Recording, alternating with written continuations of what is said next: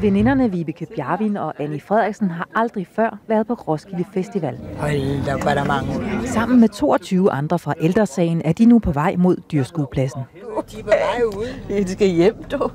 Der er et band på venindernes musikprogram. Der er klumpen klokken 15. Wow.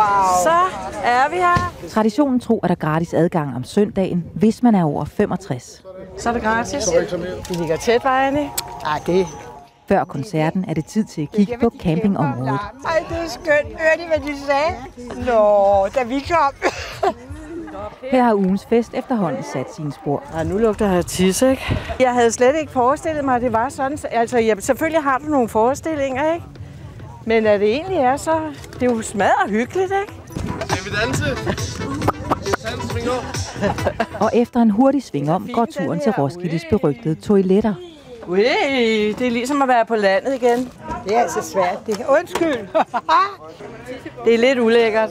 Nu er der ikke lang tid til dancehall-drengene, klumpen og raske penge spiller. Orange scene. Det er bare et øltelt. Det må være orange scene. Vi er ikke Tænk, at alene. vi oplever det. Vi er ikke alene. Gennemsnitsalderen på festivalen er 24, men det betyder ikke så meget for Vibeke og Annie. Man kan tage afsted og nyde musikken på lige fod med alle andre. det er jo, altså, vi laver musik for alle aldre.